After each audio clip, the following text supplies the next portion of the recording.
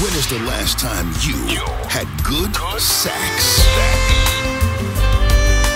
Friday, June 14th at 7 p.m. It's Adrian Crutchfield and Friends. Live. He was the last saxophonist to record and tour with the legendary Prince. Adrian Crutchfield and Friends, live in Milwaukee for one night only.